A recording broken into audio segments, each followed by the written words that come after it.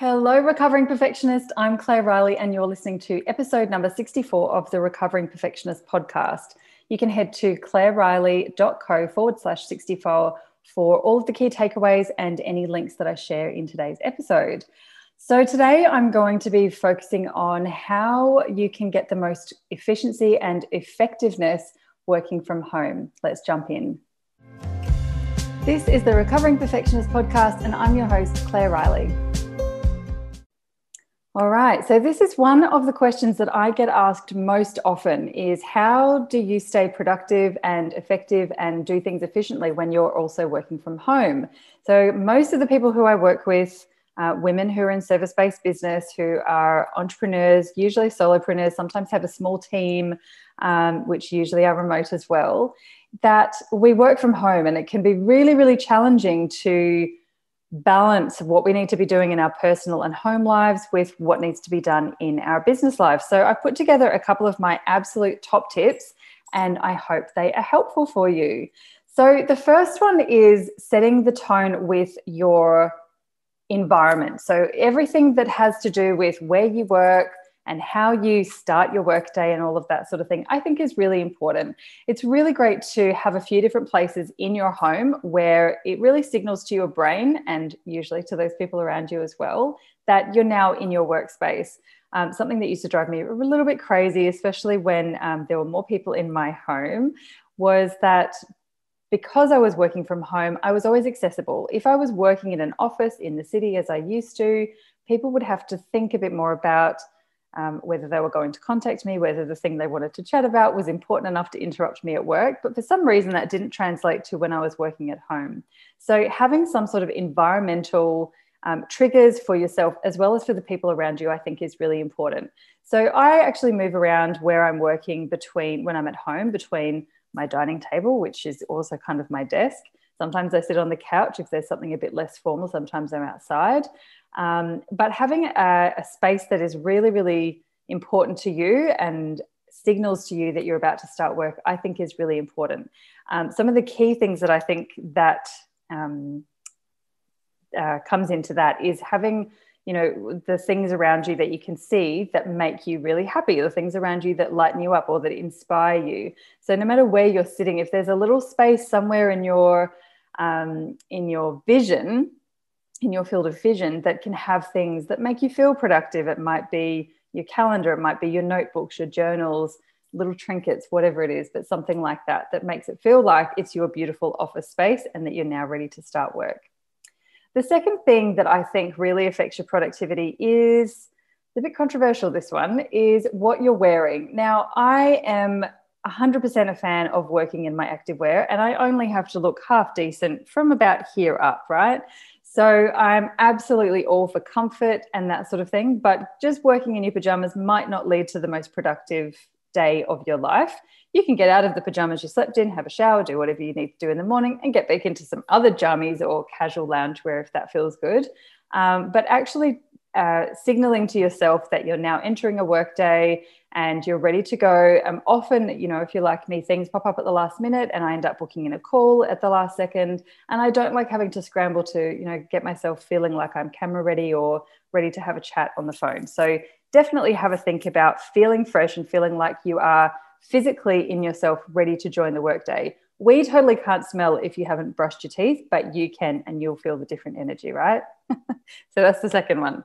The third one is to make sure that you're staying hydrated and to eat well. So I know in um, in a lot of workspaces we had those sort of forced break times, and you were absolutely encouraged to get up and go and get yourself a coffee, have your morning and afternoon tea, leave your desk for lunch. Some of us did, some of us didn't, and that's cool.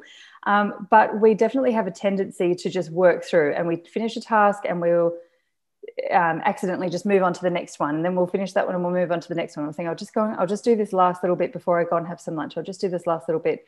But the more I notice um, when I do actually consciously look after and plan for how am I going to nourish my body today, the more productivity I get. Otherwise, I can push on pretty hard until about 1.30, 2 o'clock, and then it's all downhill from there. So um, I definitely try and have my water, my coffee. It's a very important part of it but also just giving myself permission to get up and have a snack or go for a little wander and, and have a you know a nice big drink of water or something like that. So absolutely.